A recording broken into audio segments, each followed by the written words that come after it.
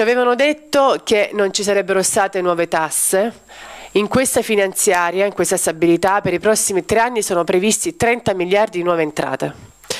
Ci hanno detto della spending review e sono previsti 12 miliardi di nuove spese.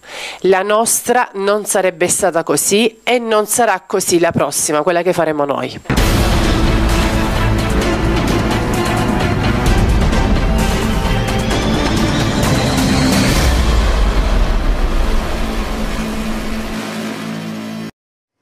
Ciao a tutti, sono Sara Paglini del Senato, sono in Commissione Lavoro. Alessio Villarosa, capogruppo Camera. Ebbene, eccoci qua. In Senato è iniziata la discussione sulla legge di stabilità e il Movimento 5 Stelle ha presentato i suoi 281 emendamenti che andranno a migliorare questa legge e tutta questa nostra energia è stata in direzione dei cittadini, nelle per aiutare le piccole e medie imprese, per il sociale, per la cultura e per l'ambiente. Un numero di emendamenti equo rispetto ai 3.000, così tanto diciamo, eh, eh, annunciati da PD e PDL e pensate che sono loro al governo e pensate che loro hanno fatto questa legge di stabilità fantastici. Dunque questi partiti hanno presentato emendamenti clientelari e alcuni di questi sono anche inammissibili e pensate abbiamo trovato anche in questo nostro vaglio eh, emendamenti fotocopie, cioè cosa sono? Sono lo stesso identico emendamento e cambia soltanto la firma del primo presentatore, del primo senatore. E ci chiediamo perché questo, e non è che per caso voglio allungare i tempi di quello che è il lavoro nella commissione bilancio o peggio ancora, non è che il PDL per caso ha ordinato di allungare i tempi per poter eh, allungare anche la decadenza di Berlusconi. Sei malfidata, sei malfidata. Comunque mentre nelle commissioni si va avanti con la discussione e il Senato aspetta, il Movimento 5 Stelle cosa fa? Abbiamo già spiegato ai cittadini con una diretta dell'altro giorno il lavoro che stiamo facendo e questa diretta e questa nostra assemblea la potete trovare sul nostro canale di YouTube Senato 5 Stelle. Adesso vediamo una sintesi di questa presentazione nel prossimo servizio. Comunque noi ci siamo mossi nel, nell'ottica del, del, rispetto dei nostri 20 punti a presentare questi circa 300 emendamenti. Quasi tutte le coperture sono un aumento della percentuale di eh, tassazione sulle rendite finanziarie, una minore deducibilità degli interessi passivi da parte delle banche, poi soprattutto, che è un nostro cavallo di battaglia, l'aumento dell'imposizione fiscale sui giochi. Mi trovo a dover illustrare o a parlare di due emendamenti eh, che abbiamo fatto come correttiva all'articolo 12 e all'articolo 11, che il trattamento di fine rapporto e il trattamento di fine servizio ai lavoratori venga dato entro sei mesi dalla quiescenza, per cui il suo TFR lo deve prendere nei primi sei mesi, sempre che questo TFR sia di un valore inferiore a 60.000 euro. Se supera la cifra di 60.000 euro ma è inferiore a 150.000 euro lo, lo si può diluire negli altri sei mesi, la seconda parte, quindi eh, altri 50.000 euro, negli altri sei mesi ancora gli altri 40.000 euro. Il tutto si risolve comunque nei 18 mesi. Eh, noi abbiamo pensato di mettere mano all'articolo 12 naturalmente a quelle che sono le regole delle pensioni. Insomma, noi abbiamo bisogno di redistribuire perché le persone non ce la stanno facendo più. All'articolo 12 abbiamo pensato di eh, non far superare il tetto massimo delle 5.000 euro eh, netti mensili a chi ha un sistema retributivo. Poi proponiamo di eh, non superare il massimo dei 10.000 euro netti eh, mensili a chi ha un sistema invece contributivo e eh, qualora il trattamento sia accumulato diciamo, in, eh, con altri sistemi pensionistici, comunque tenere un tetto dove non si può andare oltre, omnicomprensivo, cioè delle varie eh, retribuzioni, varie pensioni o vitalizi, che non superi i 10.000 euro al mese. E poi un'altra piccola cosa, abbiamo pensato anche all'innalzamento delle pensioni minime, eh, dove ci sarà un aumento e questo aumento verrà preso appunto dalle pensioni d'oro. Guardando l'articolo 4 e quello che c'è sul tema delle infrastrutture si scoprono tante cose interessanti. Che cosa abbiamo proposto noi? Beh, sostanzialmente Proponiamo di intervenire ovviamente con eh, so, il definanziamento della Torino-Lione, tanto perché sia una cosa chiara, e interveniamo invece sul sistema dei trasporti delle, eh, del trasporto secondario sostanzialmente, quindi andando a valorizzare e migliorare l'efficienza delle ferrovie che devono trasportare i pendolari. Un altro emendamento interessante eh, riguarda l'incremento in maniera sostanziale del fondo per il sostegno alla locazione, ne abbiamo parlato ieri in commissione sono previsti 30 milioni di euro, noi li abbiamo portati a 200 milioni di euro per ogni anno per tre anni, almeno ci proviamo a portarli a queste cifre.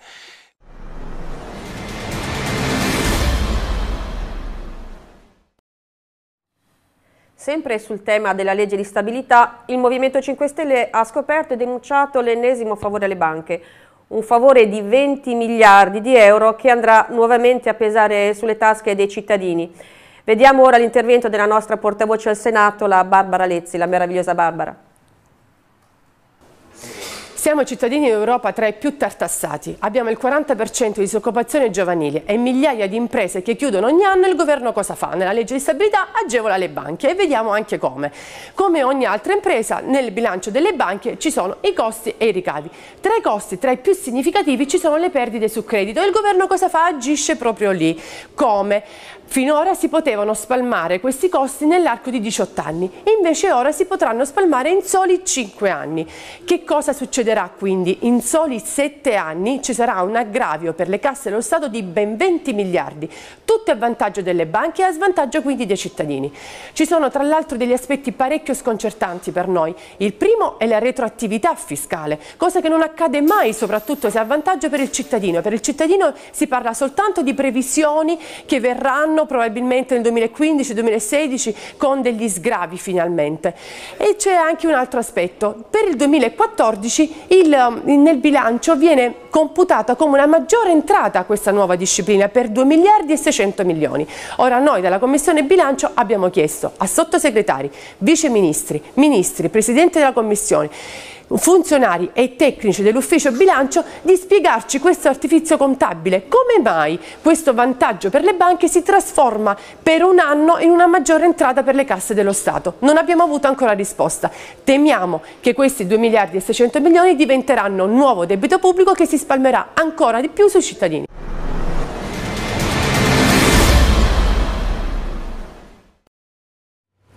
Il Movimento 5 Stelle alla Camera in questa settimana ha presentato la propria mozione per ridurre le famose pensioni d'oro. Vogliamo ridurre le pensioni che vanno oltre un certo limite per dare la, la, parte rimanente a chi invece prende quella famosa pensione minima da 495 euro, anche perché mi dovrebbero spiegare come si fa a vivere con 495 euro al mese. Vediamo cosa si inventeranno questa volta i partiti per non far passare la nostra proposta, anche perché rispetta tutti i dettami della Corte Costituzionale. Guardate la nostra presentazione. Terminare al mese mi danno 400 euro, domani pago le medicine, pago tutto. Non mi fa parlare, che stiamo tentando una gabbia dei ladri. 5,80 prendo io. Lasci perdere, lasci perdere. 260 euro al mese. Chiacchierano tutti, però i fatti non li fa nessuno. Prendo poco 500 euro eh, al mese. 650 euro. 4,50. 600 euro di pensione. 5,80 al mese. Per dire pensione è meglio che non ne parliamo. Grazie, Ugo, grazie. Noi oggi come Movimento 5 Stelle possiamo dare 518 euro a 2 milioni di pensionati, pensionati delle pensioni minime, ossia gente che non riesce ad arrivare a 500 euro al mese e noi possiamo dare a loro 518 euro all'anno, sono una cinquantina di euro al mese che servirà loro per le spese, eh, per pagare le bollette, è una tredicesima, una mensilità in più. Siamo sotto Natale, speriamo che questa mozione nostra passi, dobbiamo fare pressione anche eh, emotiva, mediatica nei confronti del governo perché ci firmi questa mozione perché a rispetto degli altri anni quando le tredicesime venivano utilizzate per le tasse, succede sempre ogni anno, noi stiamo dando una tredicesima a una categoria che è sempre bistrattata, quella dei pensionati, 2 milioni di pensionati che prendono 495 euro al mese, le chiamano pensioni minime ma sono irrisorie ed è per questo che noi tagliando le pensioni a gente come Amato, l'Alberto Dini e tanta altra gente che prende 20, 30, 40 mila euro al mese, noi abbiamo la possibilità di dare questi soldi, 518 euro, a 2 milioni di pensionati.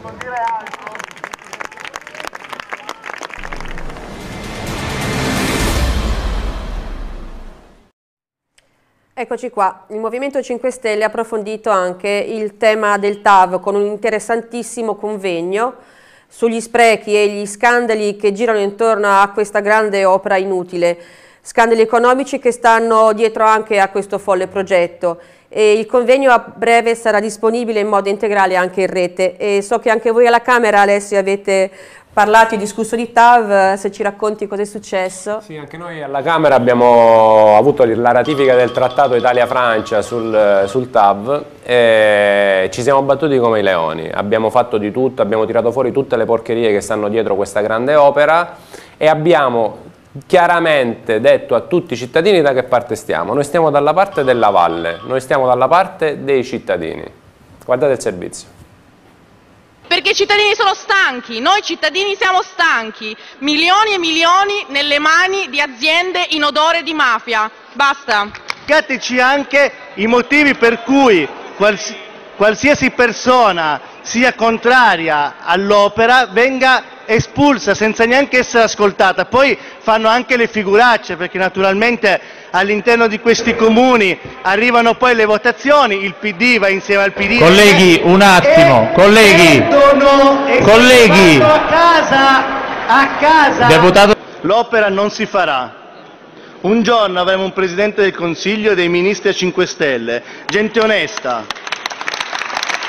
Saranno loro a cambiare le sorti di questo Paese, smetteremo di vergognarci di essere italiani. E ancora una volta, con la sicurezza di chi sa di essere nel giusto, lo ripetiamo, vinciamo noi! La prego di togliere quello striscione. Eh, colleghi, vi prego, colleghi, evitiamo, per favore, grazie. Per favore, per favore, leviamo gli striscioni, grazie. Non siamo... Bene, grazie molto gentili. Grazie.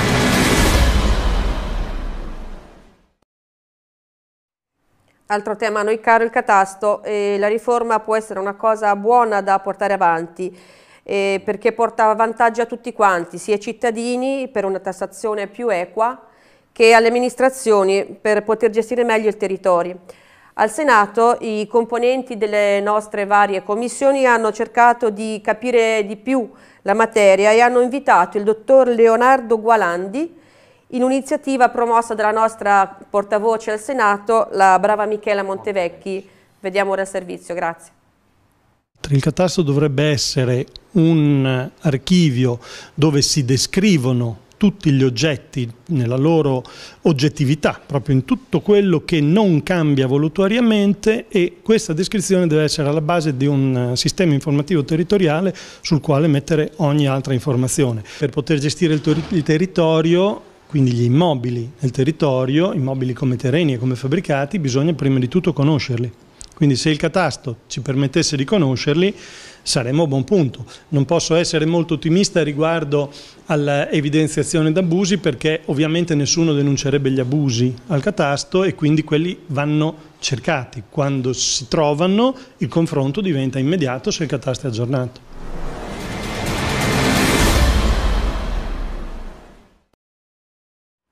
Attualmente alla Camera il tema più dibattuto è quello del decreto missioni. Stiamo lottando, stiamo lottando all'interno della Camera, stiamo facendo costruzionismo e bloccheremo l'Aula finché non ci daranno ascolto. Cosa vogliamo? Vogliamo l'immediato ritiro di tutte le truppe dall'Afghanistan. È una guerra che dura da una vita e sappiamo tutti benissimo cosa stanno facendo in quel territorio. Quindi vogliamo nero su bianco che le nostre truppe torneranno in Italia entro il 31 dicembre 2014. Guardate il servizio del nostro Alessandro che lo spiega molto bene.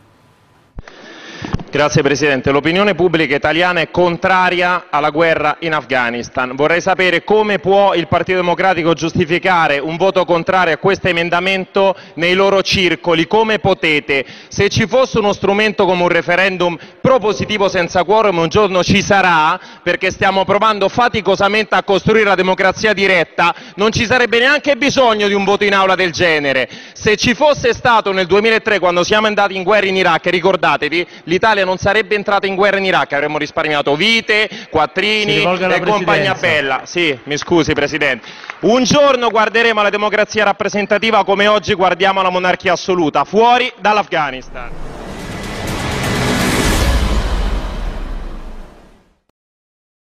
Bravo Alessandro. Oltre al decreto missioni abbiamo avuto questa settimana l'audizione del nostro Premier Letta al Copasir. Per che cosa? Per il famoso Datagate, lo spionaggio internazionale. Abbiamo chiesto la calendarizzazione, hanno al, ne hanno parlato al Copasir, ora aspettiamo in aula, anche perché il Presidente Letta è stato molto molto vago. Guardate il nostro componente del Copasir, Angelo Tofalo.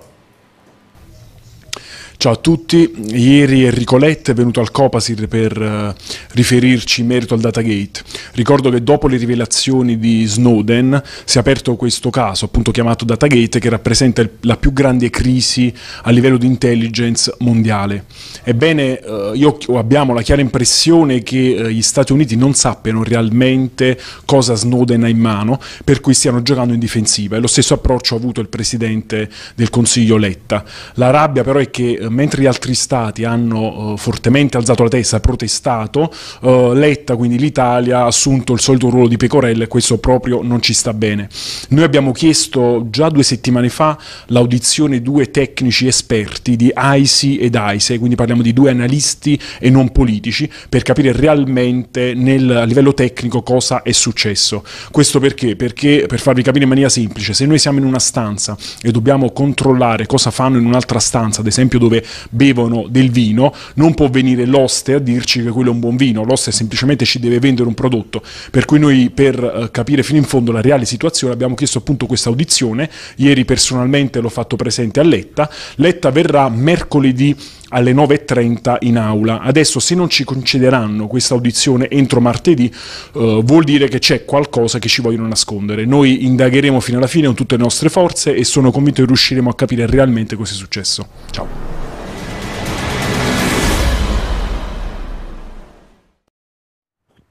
Eccoci qua e anche questa settimana è terminata e mm, vi salutiamo e vi diamo appuntamento alla settimana prossima ricordandovi che comunque la giornata per noi non è ancora finita, infatti a breve andremo nei nostri uffici a continuare il lavoro degli emendamenti, di capire che cosa stanno cercando di infilarci tra le righe e quindi per noi sarà ancora una lunga settimana lavorativa. E continuate comunque a seguirci, Sono seguiteci sotto, vedete, vedete i nostri indirizzi che passano in sovrappressione. Eccoli qua. E anche io vi saluto, un abbraccio e ci vediamo prossima settimana. Mi raccomando guardate il nostro video e fatelo girare. E mi raccomando anche www.parlamentari5stelle.it, stateci vicini e ci vediamo presto. Ciao a tutti, grazie.